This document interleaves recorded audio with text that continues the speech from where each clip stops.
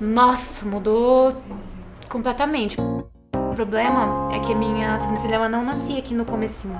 Por genética mesmo, não é por ter tirado muito. E eu já pesquisava sobre micropigmentação há muito tempo. Tava em busca de uma profissional que fizesse ficasse bem natural.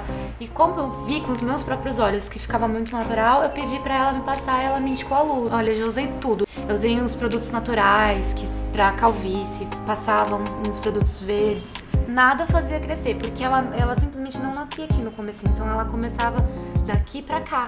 Não adiantava. E com lápis ficava muito feio, ficava muito forçado. Com sombra também eu não gostava. Então era um problema sem solução pra mim. E hoje, assim, quem me vê não, não imagina o que era, como era, porque parece que ela é assim.